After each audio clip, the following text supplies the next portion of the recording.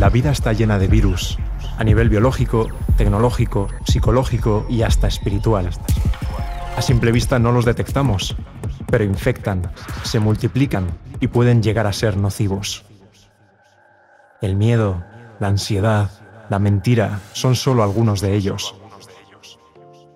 Sin embargo, tu creador te ofrece un arsenal de antivirus a través de su palabra, para que detectes, prevengas y elimines cualquier veneno y puedas encontrar esperanza. Descubre a continuación el antivirus que puede salvar tu vida.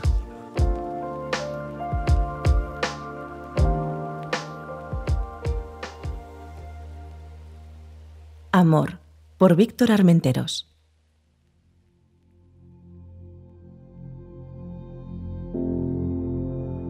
El amor es la base de la existencia, su esencia y su fin. Solamente por amor conseguimos conocernos a nosotros mismos, así como comprender el mundo y la vida. Heribert Rau. Y ahora permanecen la fe, la esperanza y el amor, estos tres, pero el mayor de ellos es el amor. Primera de Corintios 13:13. De la nada lo creó todo. Sabemos quién, Dios. Sabemos cuándo, al principio. Sabemos cómo, por la palabra. Y sabemos el por qué, por amor. Dios desde el principio de los tiempos no ha tenido ningún reparo en decirnos que nos ama. Lo ha hecho por sus actos, por sus gestos y por sus expresiones. Un amor que se palpa. El día en que planeó crear nuestro universo, lo hizo con todo tipo de detalles de afecto y cariño. Un breve análisis de Génesis 1 nos lleva como conclusión a esta afirmación. Primero, vemos cómo Dios nos prepara un mundo luminoso, porque da mucha alegría que una casa tenga luz y que se disfruten los colores con su variedad de matices. Y un mundo con oscuridad, donde la intimidad y el silencio nos permitan descansar apaciblemente. Un mundo con una distribución bien ordenada, donde cada cosa está en su sitio, lo de arriba arriba y lo de abajo abajo un mundo con unas lámparas adecuadas para el tiempo de actividad y el tiempo de inactividad que, además, midan la existencia de forma periódica. Un mundo de mascotas de tanta variedad que nos permita, por imitación, ser súper creativos. Un mundo digno de ser contemplado y reflexionado. Lo dicho, vemos los detalles del amor de Dios en todo lo que nos rodea. Pero llegó el pecado y los seres humanos decidieron desobedecer la instrucción de confinamiento de todo lugar menos de los frutos del árbol prohibido, y se contagiaron de daimonofilia, querer ser como dioses. Y llegó la pandemia de más larga duración y mayor impacto de la historia de nuestro planeta. Todo se vino abajo y el pecado campó por sus anchas. Dios, sin embargo, no nos dejó solos porque nos amaba estableció un plan que implicaba mucho dolor, pero que surgía de mucho aprecio, porque nunca hemos de olvidar que el ser que más nos quiere en el universo es Dios. Aunque le ignoremos, le rechacemos o le odiemos, y sabe que estos son síntomas de la daimonofilia, siempre estará allí con los brazos extendidos. Esa comprensión hizo que el salmista exclamara ese amor con intensidad en el Salmo 136 y que yo lo actualice con algún versículo añadido. Alabemos a Dios porque Él es bueno. Dios nunca deja de amarnos. Alabemos al Dios de dioses. Dios nunca deja de amarnos. Alabemos al Señor de señores. Dios nunca deja de amarnos. Solo Dios hace grandes maravillas. Dios nunca deja de amarnos. Dios hizo los cielos con sabiduría. Dios nunca deja de amarnos extendió la tierra sobre el agua, Dios nunca deja de amarnos.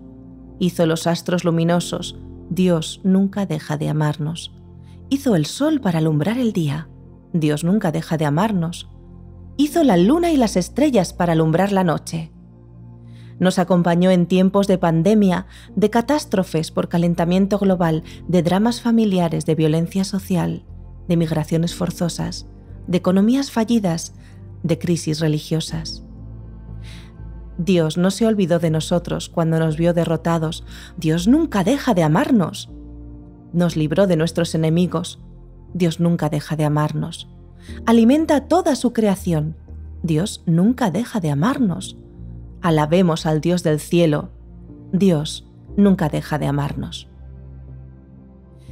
No repite Dios nunca deja de amarnos porque sí, lo repite porque necesitamos vacunarnos contra la incomprensión en la que nos ha inmerso esta fatídica enfermedad que nos asola, y porque es verdad, nos ama constantemente.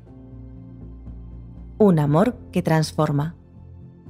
Una de las maravillas del amor divino es que tiene la facultad de cambiar las cosas, de cambiarnos a nosotros.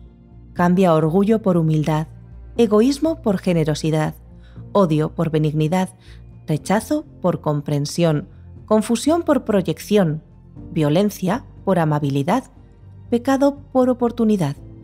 Y este último cambio tiene un solo protagonista, Jesús. Nosotros solo ponemos el brazo para recibir la vacuna. Él puso su vida para que tuviéramos la solución. Así lo registra Pablo. Desde antes de crear el mundo, Dios nos eligió, por medio de Cristo, para que fuéramos solo de Él y viviéramos sin pecado.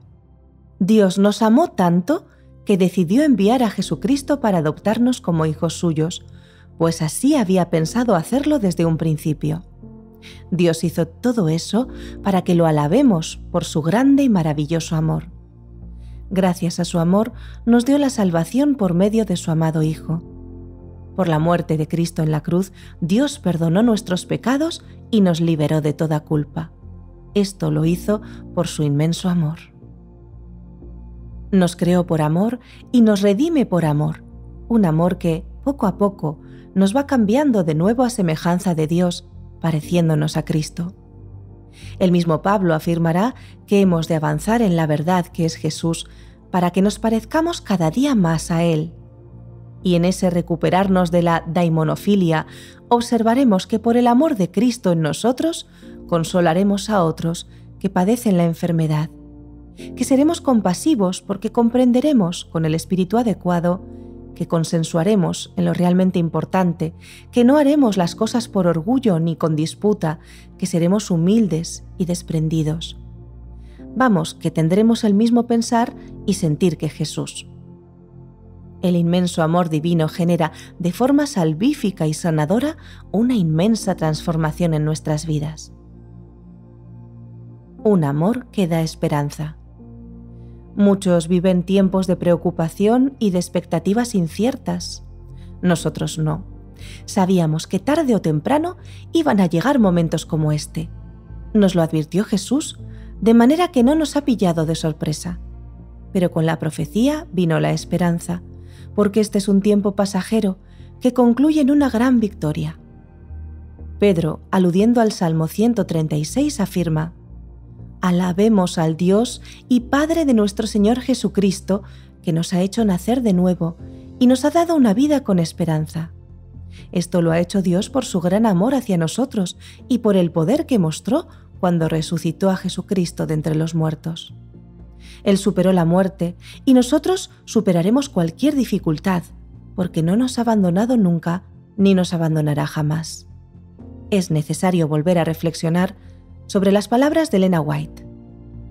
El hecho de que el unigénito Hijo de Dios dio su vida a causa de la transgresión del hombre para satisfacer la justicia y vindicar el honor de la ley de Dios debiera mantenerse constantemente ante la mente de niños y jóvenes.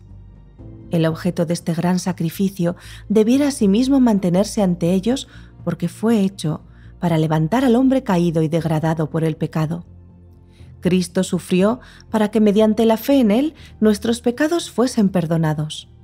Vino a ser sustituto y la seguridad del hombre, tomando sobre sí el castigo que no merecía, para que nosotros, que lo merecíamos, pudiésemos ser libertados y volver a la lealtad hacia Dios en virtud de los méritos de un Salvador crucificado y resucitado. Él es nuestra única esperanza de salvación. En virtud de su sacrificio, los que ahora somos probados somos prisioneros de esperanza. Hemos de revelar al universo, al mundo caído y a los mundos no caídos, que en Dios hay perdón y que mediante su amor podemos ser reconciliados con Él. El hombre que se arrepiente, que experimenta contrición de corazón, que cree en Cristo como sacrificio expiatorio, llega a comprender que Dios se ha reconciliado con Él. y recordar que nuestras palabras deben ser de ánimo y esperanza, porque amamos a los demás tal y como Dios nos ama. Todos tenemos pruebas, aflicciones duras que sobrellevar y fuertes tentaciones que resistir. Pero no las contéis a los mortales, sino llevadlo todo a Dios en oración. Tengamos por regla el no proferir una sola palabra de duda o desaliento. Podemos hacer mucho más para alumbrar el camino de los demás y sostener sus esfuerzos si hablamos palabras de esperanza y buen ánimo. Por eso, hoy afirmo que van a pasar estos días de aferrarse a la fe porque veremos a Jesús cara a cara. Afirmo que dejaremos de necesitar la esperanza porque viviremos en un mundo nuevo donde todo será perfecto y realizado. Y finalmente, afirmo que el deseo de Dios de amarnos nunca cesará. Ahora te sugiero que mires al cielo y exclames, Gracias Señor, porque nunca dejas de amarnos.